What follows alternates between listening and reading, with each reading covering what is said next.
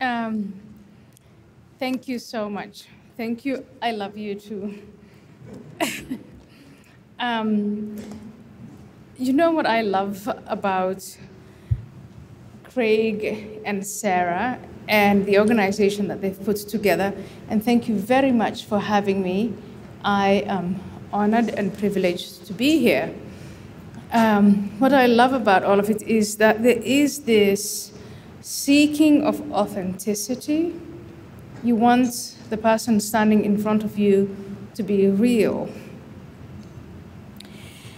And when I first got that invitation um, through my speaker agency, the contract says you've got to speak for 30 minutes. And I have fulfilled, I think, uh, the contract, which is I've got these about uh, how many pages? Uh, 20 pages to read to you. And everything in here you can Google. And my question to you is would you like this or would you like this? The second one. Okay, so the first one is about what is woke, what is wokeism, where did it come from, all the theories, I've got all the footnotes. I went as far back as the French postmodernist thinkers and so on and so forth. There is nothing you cannot find on Google. And if you can't, you can still talk to Peter Boghossian, who is going to be here later or who has been here before. On this one, I was just in the waiting room having my little panic attack about speaking to a large group, and I've put three questions down. And I'm going to do what Donald Trump does, which is just a conscious stream or stream of consciousness, or whatever they call it. and so on this one, I'm going to try and attempt to answer question number one, which is the question I have for myself, which is why, Ayaan, why do you love the Enlightenment? My second question is I came to the Netherlands and I truly fell in love with it. And you know when you love, you're blind. There are things you don't see because you see all wonderful stuff. And I'll tell you about all the wonderful stuff that I saw. And then finally, now I'm this 52 year old mature woman, mother of two, wife, um, living in America. I mean, it doesn't get better after this, does it? Um, if you don't like it in America, where will you go? Switzerland? No. Mars? Maybe. Ask Elon Musk. But we're not there yet. And so at this age, I'm still in love. I love the Enlightenment and the legacy of the Enlightenment. But now I'm beginning to see stuff. And so these are the three things that I'd like to share with you for the coming 30 minutes, and then make it interactive. You ask me what you would like to ask me. And all I promise is honesty. If I don't know the answer to a question, I will say I don't know. If I think I know it, I'll take the risk. If I'm confident I will share that with you, and I could be wrong. And please don't hesitate to tell me that I'm wrong. Okay, so why do I love the Enlightenment? You won't understand it. I can't explain it to you unless I talk to you about my childhood. I grew up in a tribal environment my grandmother who raised me, she and her family, when she was a little girl, they were going from waterhole to waterhole in what is now called Somalia. She had all sorts of stories about what life was like. But what strikes me is that she loved it and she respected it. And later on in life, when her children and grandchildren introduced her to modernity, she liked some stuff, but not all of it. So, in keeping with my grandmother's religious and tribal um, rituals and customs, at the age of five, my genitals were cut. There was a rationale to that. The pain was inexplicable. But her rationale was we've got to do this, even though you're only five, we've got to do this because if we don't do this, the enemy across the other tribe, the other clan, is going to come and get us. And you, if you don't do this stuff, you're going to be someone's slave. Your children will be slaves. Your boys will be killed. And female genital mutilation, I'm talking, listen to me. I'm my grandmother. She's explaining her way of life and her thinking to me. Female genital mutilation is, of course, horrific and it's striking and it's dramatic and all the rest of it. But it wasn't just that. On a day to day basis, she was enforcing manners, things that you do, things that you don't do, because you belong to this clan and not that clan. My grandmother could not read or write. And when I came home from school and I said, Well, I had a fight with a little girl and I got my eyes poked out, she said, Well, that shouldn't have happened. I'm going to teach you how to fight now. And I was then thrown into this ring where there was this, to you probably, again, inexplicable and horrific. Um, but this girl is scratching me, punching me, rolling me in the sand and I've got to do just as much back. And I hated it. I hated it. Her explanation remained the same. If you don't toughen up, they're going to come and get us all. So she was enforcing the norms, the rituals, the manners of her particular clan, even though life had moved on. And then my mother's life, who had moved on a little bit from my grandmother's to sort of semi modern. My mother had left that moving from Waterhall to Waterhall, and they went, she went to Aden. Her older sisters had sort of paved the way. I can see you doing this. Does it mean you can't hear me? Ah, I'm sorry. Um, does it make this? Ah. so, my grandmother then says to my mother, oh, let me go back. My grandmother's world is crystal clear. Uh, where her loyalties lie are crystal clear. Where her rationale lies is crystal clear. But when my mother is, she moves from the Somali nomadic desert and goes to Aden, uh, and starts to work for a British woman, English, white. Um, things start to become ambiguous. There is an attraction, a very strong attraction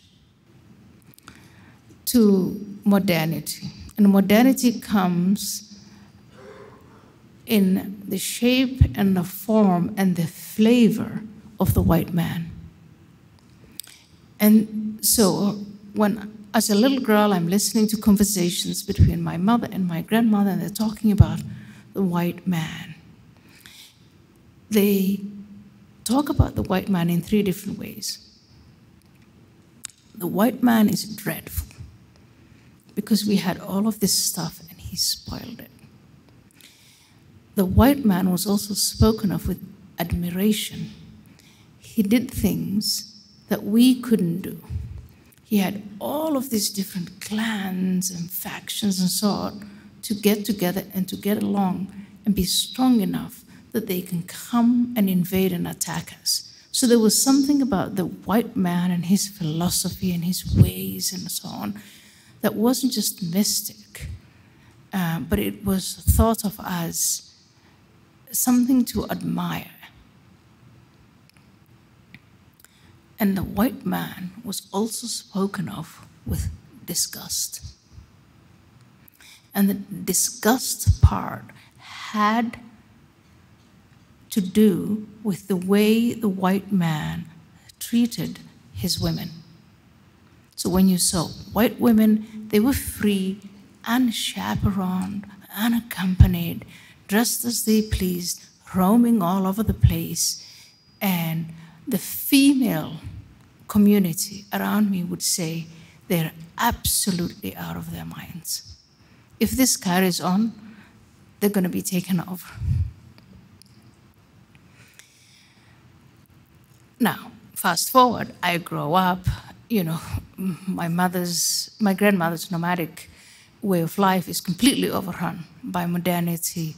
Uh, my mother, who was sort of in that ambiguous, she loved the English woman that she worked for because she introduced her to modernity, taught her how to flush a toilet, what a running tap was, all of these things that I think you could put in a Disney movie in these days, but you can't because of wokeism.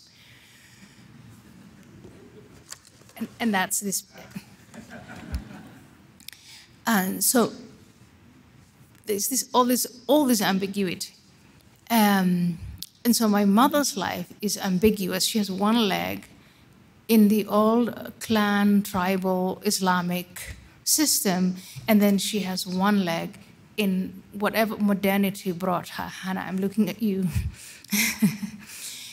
um, and one day she's in love with some of the material comforts that the white man brought. But the other day she's disgusted by what is happening to her children. When I was a teenager, this is 1984, 85, 86, Nairobi, Kenya, we're dancing to Michael Jackson we're doing breakdance. Uh, we're watching MTV. Um, we are through those uh, images and narratives and um, the culture that is exported from America um, to Africa.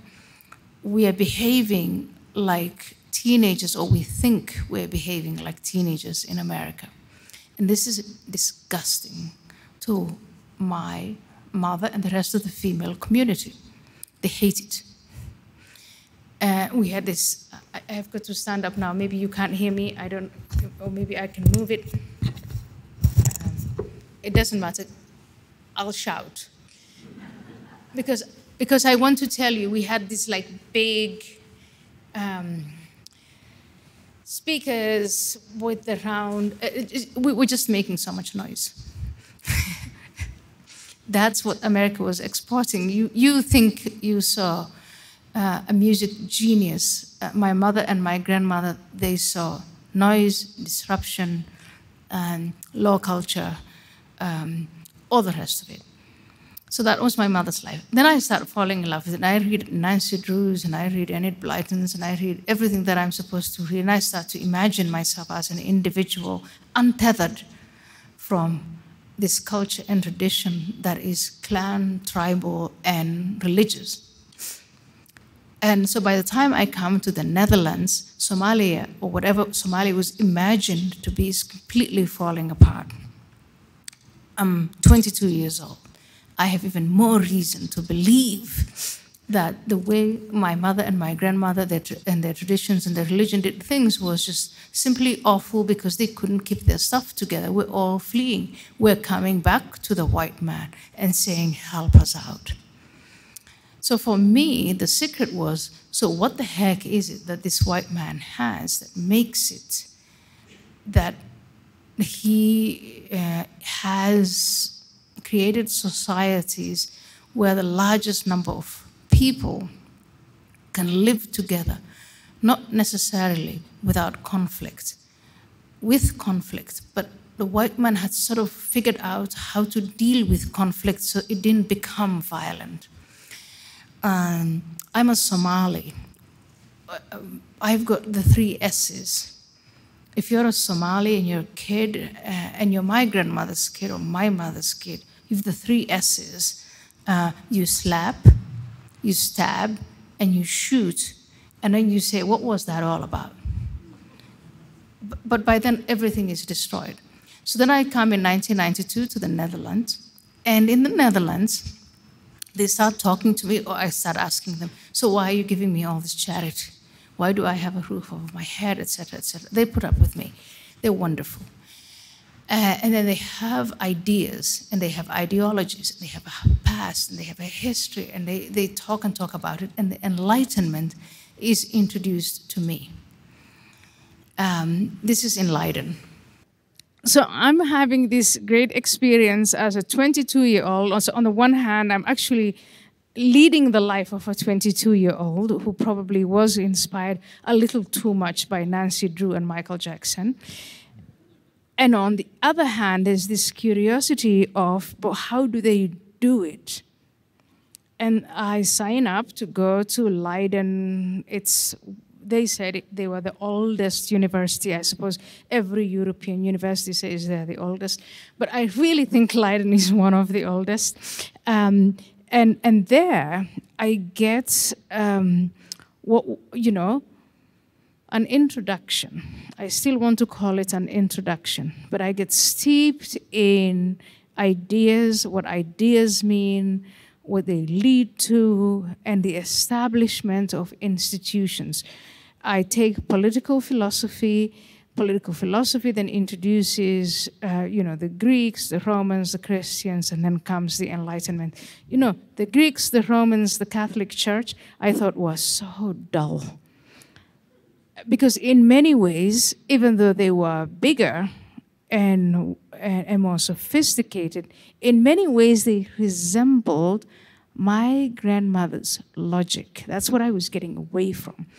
And so then we come to the Enlightenment, and I just fall in love with it. They start to, I get the concept of what an institution is and how it's created and how long it took and the events that led up to the creation of those institutions. And there's this discussion of nation. What is a nation? You know, the Westphalia Treaty. I come from Mogadishu. Where the hell is Westphalia? I don't know. It doesn't matter, but I love the stories. And you know what? They created nation states. And if you visited Europe when I did in 1992, I kind of think they put a line across every tribe and clan and called it a nation. I mean, what is the difference between the Danes and the Swedes if you're an American? Or the Dutch and the Belgians? you tell me. Obviously, these days we're not allowed to talk that way. But, but I'm going to talk that way because you're interested in what I have to say about your society and what you inherited. And you hold the legacy. And people in this country, in my view, Americans at the moment, in 2022, Americans, the talking Americans, the people who talk on television, in newspapers, who write, I think they're just stark raving mad because they, all they want to do is talk about race. And so I'll say, well, then let's talk about race. So now I'm in the white man's world, and they've developed all these little borders around every clan and every tribe. And I think, oh God, we could have done that in what we call, what we ended up calling Somalia. Instead of calling it Somalia, we should have called it Machertania. That's the clan that I come from, or my father comes from. And we could have called it Lulbahanti, that's the one my mother comes from. And we'd have these many countries, but we'd be so homogenous and so consistent. And we could have what my grandmother had, which is this little, which she was teaching me. It's not little, it's actually a big deal. Um, but it is how you ought to behave to keep your community strong enough. You didn't have to be the strongest. You just wanted to be strong enough not to be swept away by a clan or a tribe coming in and seeking power. So I loved what I saw in Holland. I loved the institutions. I loved going to um, the gemeenteraad, uh, how do I explain that? The municipality to ask for this or that document. I, asked for the document. I was asked to pay a little fee, and I actually got it. If you're from Africa, it doesn't work like that. You go to the bureaucracy, you, up, you ask for the document, and the street level bureaucrat behind the screen says, You can't have it. And late in the evening, you come back with an envelope with money and you pass that on. And then the next day, if you did that, he gives you the document. Corruption is what you call. Clanism, tribalism is what I call it. Whatever. It doesn't matter. But here in America, that's what, oh, in, in Holland, that's what they were doing. And then I went to Leiden and I went into politics and I went into all of these things and I saw conflict, people disagreeing with one another to the extent that in Somalia we would be embroiled in violence. And in the West, they were not doing it. And it was something called freedom of speech, freedom of expression. And I tried it out. And when I tried it out, my opponents were not the white Dutch. They took freedom of speech and expression for granted. It was my fellow Muslims, fellow immigrants who were saying, and if you say that, we're going to cut your head off. And you think it's a joke? It's not a joke. Theo van Gogh,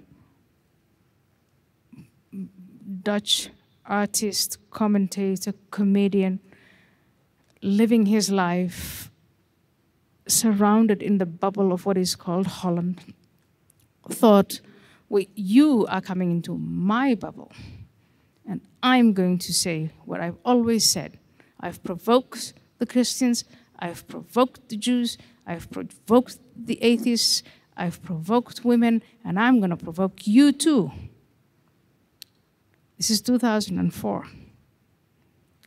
And I remember our conversations where I said, they're different. And he said, Well, let's test it out. And we tested it out, and he lost his head.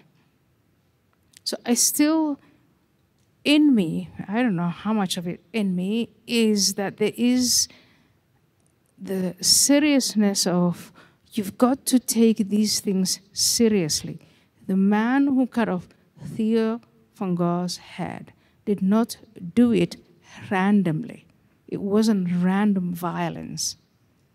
He did it for a reason, based on his convictions. And even then, I didn't want to question the Enlightenment. I thought we were the anomaly. The Muslims, the immigrants arriving, we had to adapt. And that has been my message, my mission, let's adapt. Let's understand reason.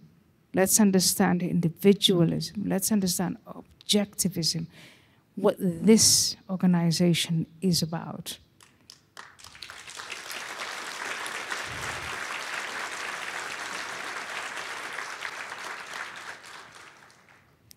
In the hope that it would come from you, those who inherited all of the nice stuff from the Enlightenment to explain to, of course, babies and children, but also people coming from outside of that culture and say, this is who we are.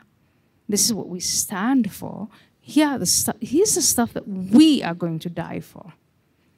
So, unfortunately, in Holland and other parts of Europe, that's not what happened. People sat together, our leaders, and said, maybe we can meet them halfway.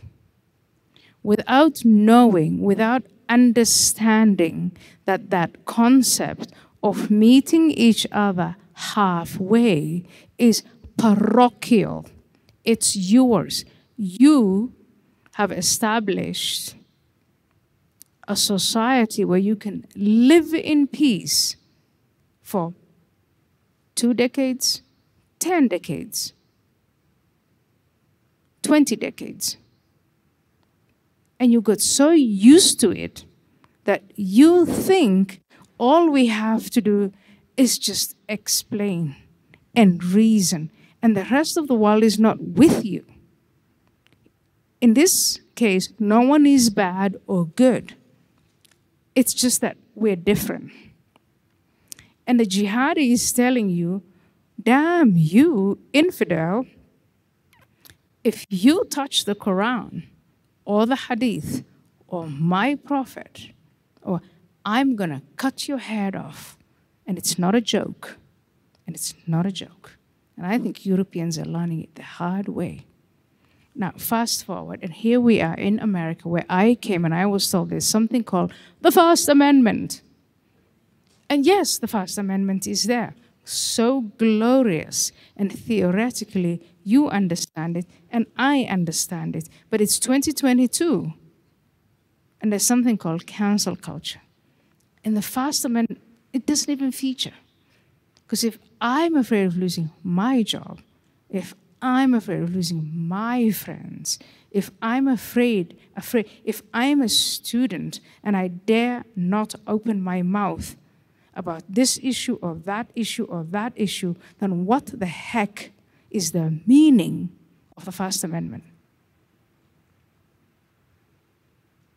So you can sit here and celebrate objectivity and reason and rationality, but you have to understand that you're living in la la land. And my question to you, that the woman who came from that tribal society, is what the heck are you going to do about that? not the Islamists, that's external, not the Chinese Communist Party, that's external, not Putin, that's external. But the threat to the First Amendment that is emanating from inside, from your universities, your schools, your churches, your institutions. And I look at this day in, day out, and I think for those of us who inherit, well, I came to it and I chose it and I fell in love with it and all the rest of it. You were born into it. Some of you were born into it. And I think we're doing a disservice to the people who fought for all of this. What is woke? I spend days and nights Googling it. I had you 20 pages of what the heck it is. I still don't grasp it, other than an ideology born out of the romantic desire to become primitive.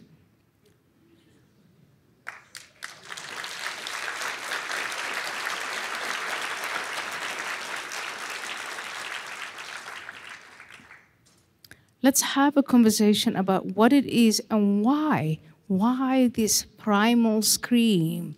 I'm quoting the, the term primal scream comes from a book by Mary Eberstadt. Uh, it's a primal scream. There's something that is going on in America and in the rest of the West because America leads the rest of the West. If we have a great idea in America, they all have that great idea. If we have a bad idea, a terrible idea in America, they all have it. So you don't understand your position as Americans, as leaders. It's where the heck are we leading to? Why did this thing come? And why? What is, what is this monster called woke? That's not a rational question. It's not an objective question. Parts of it are. It's the parts that you'll find in Google. But parts of it is not. I hope I haven't used all of my time and that I have left some time for questions, and I will take it. Thank you.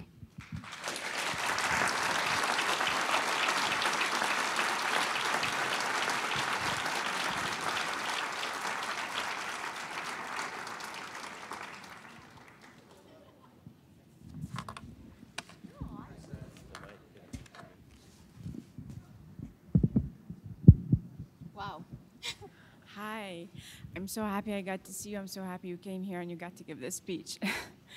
um, yeah, my question to you is um, Had you known the level of threats of violence that will happen to you if you spoke for decades to come, would you have still uh, pursued the same path? I think uh, from my, how old are you? 32. 32. So a 32 year old young woman asks me, I was right around that age, by the way, when I started to speak out, and I could have sort of gone back to my very comfortable life in Holland. Um, you know, when do you decide if you're going to die for something or not? Um, I don't. I still don't know how to answer that question. But what I thank my grandmother for is that if you believe you belong to this clan, that's the clan you sacrifice yourself and your children for, she'll be disappointed in me that it wasn't the one through the bloodline. And it was through the one chosen in terms of ideas that as a grown up, as an individual, I decided I want to subscribe to this community of the Enlightenment. That's the one I want to die for. And these people are bringing all that stuff that I ran away from with them, and I'm not going to stand for it. And it didn't begin with, uh, you know, this black and white. Uh, if I speak up, I'm going to die. That's not how it started. In fact, years into it, people were saying, "You're absolutely nuts. They're going to kill you. Get off. You know, shut up." Um, and I was doing it and I was saying, but well, they won't kill me. We have the rule of law. I'll call the police.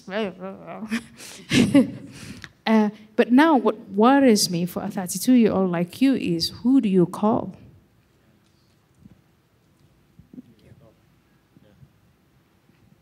Hey, thank you so much for having the, uh, I guess, the boldness to say what you said about us potentially being in La La Land if we don't, you know, actually speak out. Uh, as we're sitting here, uh, Roe versus Wade has been overturned. And so I think there might be, yeah, clap it up. I mean, if you agree. Um, I think there might be a lot of violence this weekend. Um, I mean, it's likely to happen, and unfortunately, it's likely to come from a lot of the woke people. Uh, how do we how do we navigate this? You know, moving forward, it's going to be an interesting debate, interesting you know fear of people losing their jobs, their homes being vandalized. Just want to hear your thoughts on this. So again, to reflect on this and think Roe versus Wade, how many of you just raise your hand if you think it is actually about how do I prevent an unwanted pregnancy? Remember, you are here because you believe in rationality, in reason, in objectivity. And here's the question it's 2022. You're the most advanced nation on planet Earth. Answer this question. Raise your hand if you think Roe versus Wade is about how do I prevent an unwanted pregnancy? One, two, three. Okay, so there are uh, four or five. So that's what you think. You think it is how do I prevent an unwanted pregnancy?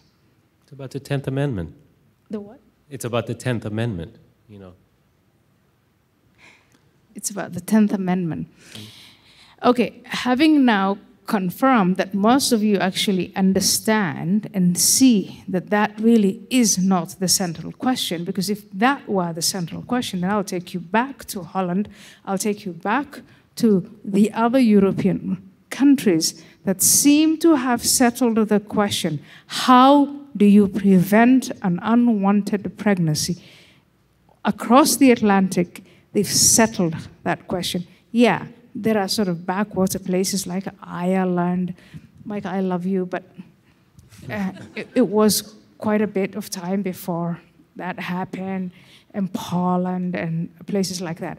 But for most Europeans, after the 1960s and the 1970s, with the advent of the pill, it's not an issue. There, there is no, there's no one there struggling with how do I prevent an unwanted pregnancy, or once it happens, what to do about it. In Europe, what Bill Clinton said, abortions have to be rare Mm-hmm. and safe Yes. Yeah. and legal is implemented. My experience in Holland, for instance, was the majority of people who were getting abortions were Muslim women who either got pregnant before marriage and would face honor killings, or married Muslim women who, after baby five and baby six, had decided they had had enough and they would sneak out to the abortion clinic and say, Take this one out. Mm-hmm. Or it would be members of the Asian communities who had, with the technology that we have, would determine, I'm pregnant with a girl. That's not what I wanted. Get her out. So people who went to get abortions, it wasn't the norm. Mm. It was, it, it was very different. Mm. In America, I just struggle to understand what it is that we're talking about. Mm. Are we using abortion as a tool to address teenage pregnancies in black communities? Is that what we're doing? What, why, why in America and America alone do we keep this going and going and going and going?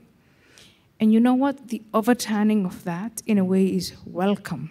Mm. Because if you're rational and objective and so mm. on and so forth, you're now going to have to go back and try and answer those very basic questions. Mm, and the people who think that they have answered those questions and that they want to impose the answers on everyone else, they are the ones who are burning down pro life facilities.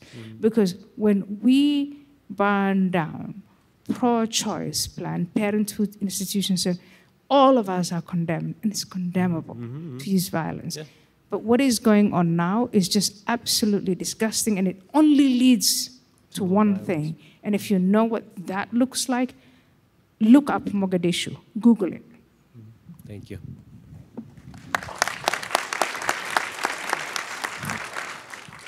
Morning.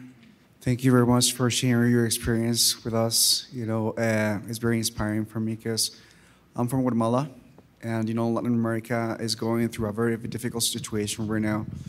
Uh, like every, everybody's going like to the left, and uh, they want every, everything given by the government.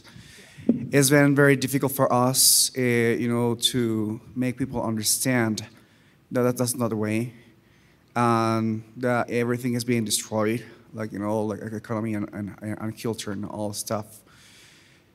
What would you, what would be your advice for us, like how to approach people and uh, how can we make people understand? Because you know, like sometimes, um, I, I'm, I'm talking uh, for me. like I, I feel kind of desperate because you know, even when we make events or we try to to speak out, they don't get it. I think what here's the trick, and I think you should make there's the left, of course, and all these problems are going on within the left, who claim that they are the curators of the legacy of the Enlightenment, which at the moment they're not. And so um, you would have to say, here are the things that we are not going to give up on. We're not going to give up on what and this is, I'm again quoting my grandmother and not John Locke. What, what are your traditions and your rituals and your, what is it that you pass on to your children uh, to maintain what you have and what you think you have? And so, given, and Locke said it in a different way, but um, ultimately that's what it boils down to is on the left you have two sides there's one side that right now is tongue tied And then you have one side that are saying, let's break everything down and start with a clean slate, kick them out. Thank you. Hi. So they asked us to, to speak quickly, so I will try to really rush it. So first of all, thank you so much for talking to us. I'm a big fan, and I think a lot of us here are, and it's just an intellectual delight to be able to uh, ask you questions. Um, so um, basically, I think most of us here are on the same page with you about the dangers coming from the collectivist left and about the wokeism stuff, right? Um, but there are still dangers coming from the collectivist right, and I have to say I am a little bit disappointed yeah. that the overturning of Roe v. Wade gets a little bit of an applause in this hall. Um, it's. Uh, um, so it, you know, it's it's not a perfect law, but it's a fundamental right uh, of, of a woman to choose this most tragic and, and intimate decision. Uh, do you think that now that this has happened this morning, this means that these debates and these Christian fundamentalist ideas, in a way, are coming back, uh, even though we thought they were way back in the past? Is this what does this mean for our fight for for rights and for freedom? Well, I'll share with you my observation, which is now I don't think the American society of 2022 is Christian per definition, um, or that Christian principles determine what we do and what we don't do. Um, I think there are Christians, I think there are Jews, I think there are atheists, I think there are lots of agnostics, lots of confused people. It doesn't matter. But if we adhere to the principles that we should be able to debate these things without violence, then whatever happened this morning will lead to the next step, which I am told is distinctly American, which is we're going to debate it. We're not going to shoot one another. We're not going to Molotov cocktail one another. We're not going to kill one another. So if you believe in that, that we can actually resolve this, and maybe we won't resolve it, but at least we can attempt to have those conversations.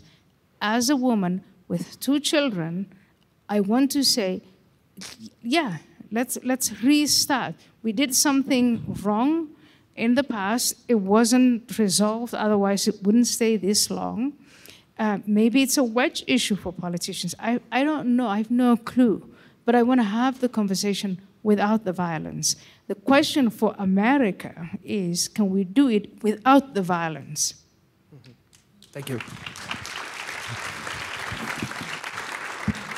Hello. Um, in Ladies of Liberty Alliance in Latin America, we work a lot uh, with uh, the chapters of Africa and Asia because we think no one will have a full liberty until we all in this world achieves it.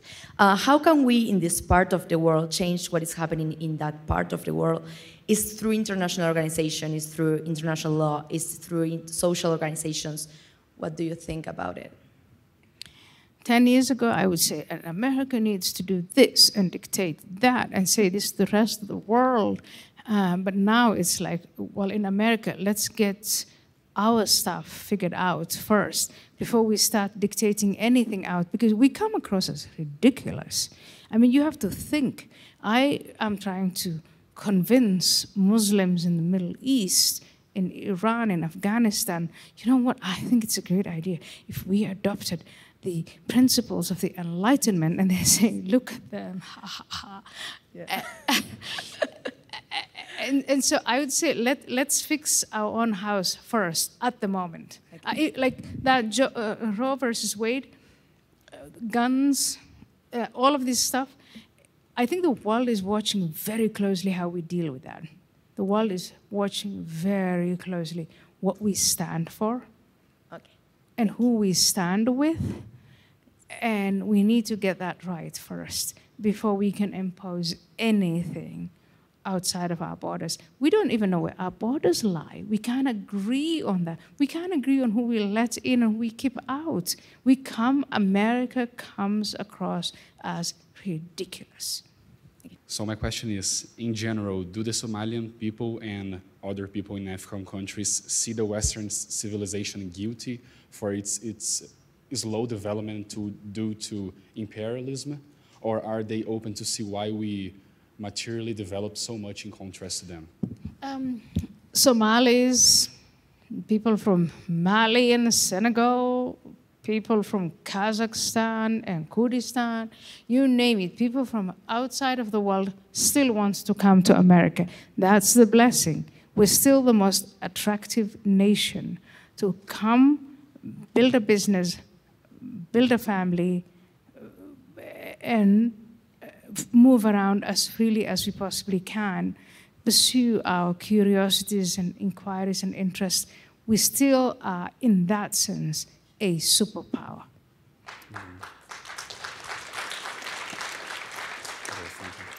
But I repeat over and over again, we do need, however, to fix some of the internal problems that we have so that we can remain just as attractive, but not only that, so we can export these beautiful ideas. And I think part of it is we have to take into account not just how rational we are, but also some of the irrationalities that human beings have. And maybe at the core of that is the relationship between men and women. I'm just throwing that out. Thank you. Thanks a lot for sharing your experience. Uh, I come from India, and in India, what we're seeing today is that left liberals and people who claim to stand for even liberal democracy uh, are aligning with the worst elements among Islamic fundamentalists to oppose common sense reforms and uh, to um, call for arrest for blasphemy, etc. Um, that so what this is doing is that it's ceding ground to the right wing, of course. Mm -hmm. And in right wing, there are definitely people, at least some of them, if not many of them, uh, who are not just ag against Islam as a religion or an ideology, but also Muslims as people, right? So, what do you think should our response be? I think most Americans, um, I don't have, I didn't do a survey, um, but I think I'm confident if I say most Americans are not anti Muslim. I think most Americans will oppose um, some of the tenets of Islam, uh, for instance, the treatment of women. I have been probably the most, um, would you say, determined and um, relentless critic of the way Islam treats women. Would you say that?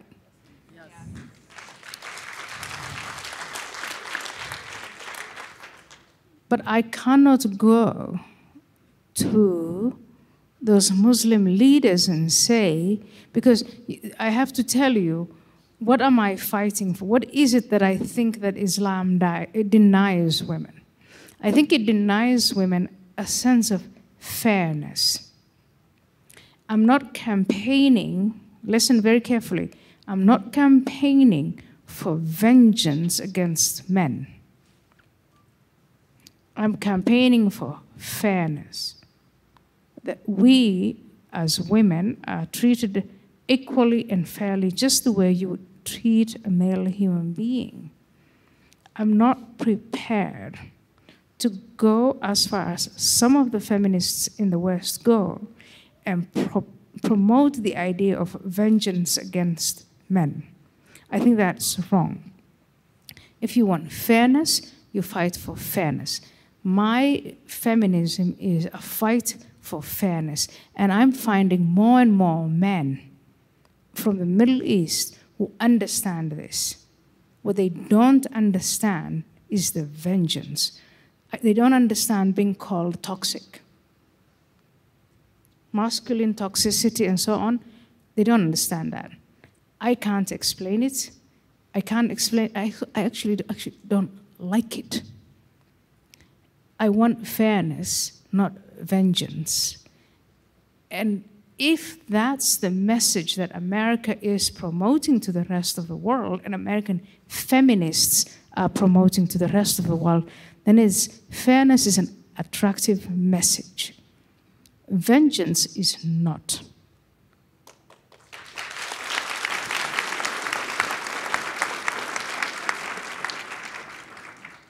Uh, regarding the Enlightenment, uh, there's one thing that I've always, you know, disliked about at, at least the French Enlightenment, and this is the technocratic interpretation, where people say you know, reason is great, so the most reasonable should rule. And of course, our small group of academic experts, well, they are the most reasonable people, you know.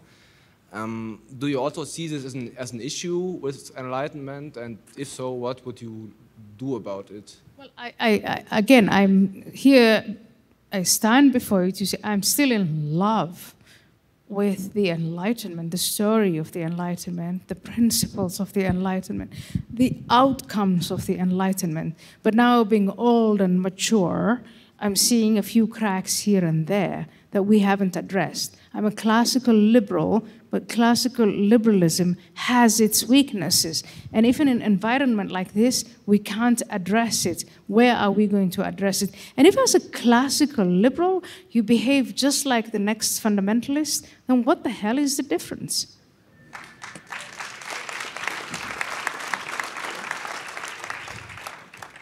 In the interest of brevity, um, do you see anything positive emanating from the woke movement or the progressives?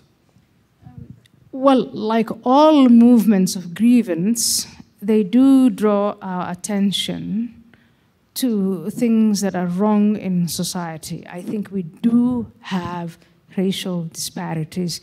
There's no need to close your eyes about that. But you do have to ask the question, why is that and what can we do about it? But we do have racial disparities. Um, we do have a shrinking middle class. We have to understand why is that happening. So as a movement, I think they, I, I don't speak for you, I speak for myself. I am awoken from my very comfortable um, den. And, and I look around me and I think the people, this small circle of people around me, that's not America. And that I have to get up and start looking for the average American. And we have problems, and they're big problems. But the, the answers that the woke are giving us are all wrong and they're tyrannical and they're saying only our way or no other way. They can't figure out whether they're Marxist or neo Marxist. Uh, they're romantic, they're this, they're that. Uh, some people are leading in the way of the ideology by wanting to destroy institutions, others are just following. And then there's, of course, the cynicism that drives me absolutely mad. The CEOs of corporations inventing things like ESG, what was that? Environmental and social bullshit.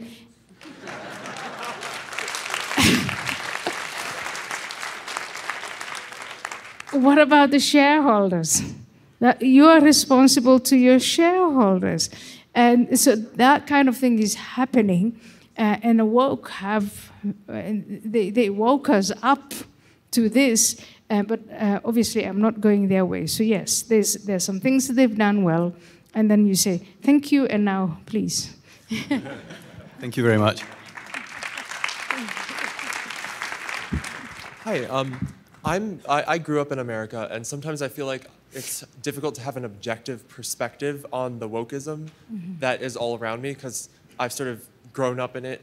Um, coming from your position, I was wondering if you could draw some analogies between the wokeism that you see that's happening here mm-hmm. and uh, perhaps some of the traditional religious morality mm-hmm. that from your childhood. Um, if you could draw like three analogies or, or what or some comparisons and um, just between the two phenomena. Well, I don't even think I have to go as far as three analogies. I'll just go with one analogy, which is the religion of Islam is traditional. It's been around for what 1400 years. Christianity has been around for 2000 years and there's a reason why these traditions were around, and that means, um, you know, it's people want to hold on to, cling on to something inherent in these traditions. Wokeism is synthetic, uh, and it's plastic. It's it's cosmetic. Um, it, it, it's uh, you know you can dip in and dip out and be whatever you want, and uh, in that sense, initially it's attractive uh, and it can very quickly lead cultism. Um, and then you have the cult leaders, and you know I think this country is very much familiar with that. Uh, and so I, I, I, I, don't know. I haven't uh, quite just because of the number of institutions they've captured. I think I've got to think this through. So there are parts of what I'm saying that they're not fully answered. Um, but when it comes to what do you offer the average man or the average woman, uh, aside from this synthetics of instant gratification, I don't see much else. And you know, everything with instant gratification, it's instant. Thank you. Short lived. Hello. Hi. Um, the the question I have is what are what is the difference between an actually evil zealot and a zealot that is um, hurt that is hurting or is has been driven to zealotry of what of whatever form by other reasons. Also, how should we fight to improve the real issues in America that wokeism pretends to tackle and actually makes worse slash doesn't? One word power. If you're mentally ill and you're confused and you seek help, you get help, and you know that you're mentally ill, if you don't seek help, the degeneration of the mind starts to happen. The other group are using, in my view, um, deranged, we would call deranged, uh, to seek power and get power. And, and it is, they're not seeking just any kind of power, it is power unchecked. You just have to submit, and they want to make others submit. So, uh, this, this is a very radical statement that I'm going to make, which is I don't often see a huge difference from the committed serial killer and the committed wokist or is Islamic extremist. It's that kind of wanton power that they're seeking, and it's for the rest of us to check it. Two minutes is what I'm told I have. So we've got to, and I have three people. There are th- two, three more people behind you. Hi, um, so my question is that um, woke young people from the white first world backgrounds often place their values above human rights. So, like Islam must be respected, and some women can be stoned. The communist revolution must happen, so some people can be starved. Whereas people like you and me from backgrounds with humanitarian issues place human rights above everything. So, how do we make these young people understand the importance of human rights and what being threatened with death really means? I think we create programs where they can go to these places. I would love to have programs for Americans to actually go and live for periods of three weeks, three months, six weeks, six months in all of those places. Uh, and you will never be duped. You come back saying, I want to go home. Next. Hi, I, uh, first of all, thank you for speaking. And yeah, uh, I think I know the answer to this question from kind of what I've heard you say to the last few, but um, do you think that the West, um, or the US specifically, is systemically racist? I don't think that the West is systemically racist. I think that the West, and in particular America, has created um, uh, a culture and an environment and a society and maybe heads a civilization where if you want freedom, you can be free as much as you want. But there are two things, three things actually. There's the concept of freedom, we have to keep explaining. It's different from the second concept, which is license. And then the third concept, which is service. Uh, and that service bits, I think we preach a lot about it, um, but maybe some of us don't practice it as much. What is it that my neighbor wants that I think I can give him? Is who's suffering, etc., etc. We preach a lot about that, and we have. And again, I know the audience that I have in front of me. But you used to have churches religious people telling you, reminding you of service and charity.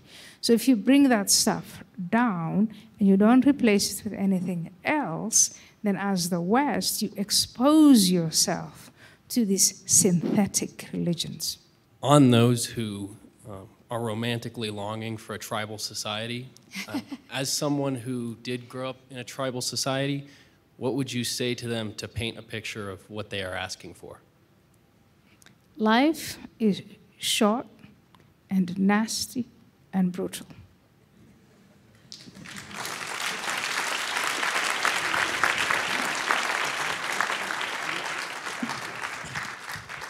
That answered part of my question, but I was curious if you could say what other works of the Enlightenment you found compelling?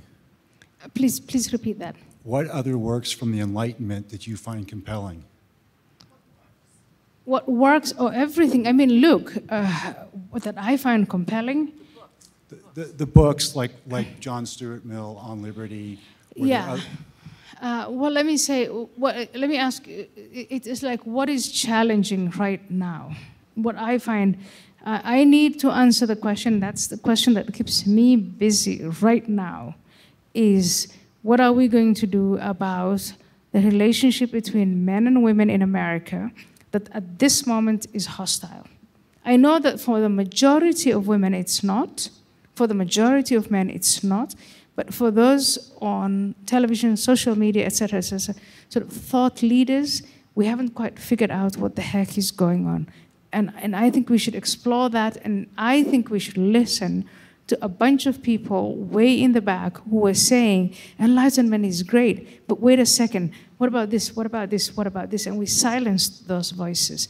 So I don't have one book, I have a series of books, articles, thoughts that I'm looking through, and I don't know I, I, haven't quite found the most significant. My friend, Christina Hoff Sommers, one of my best friends, when I first met her, and this is 10 years ago, um, maybe even longer than 10 years ago, she had written a book called The War on Boys. And I remember seeing the title and giggling and thinking, The War on Boys, yeah, crack me up. Now, I look back, I actually called her and said, Oh my God, you were onto something.